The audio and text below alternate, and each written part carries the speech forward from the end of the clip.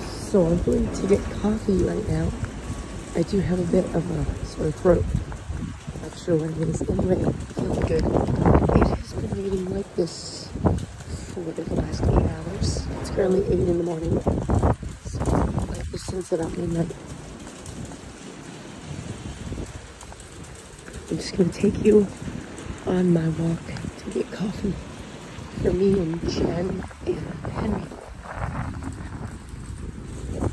I guess you could call this my morning commute.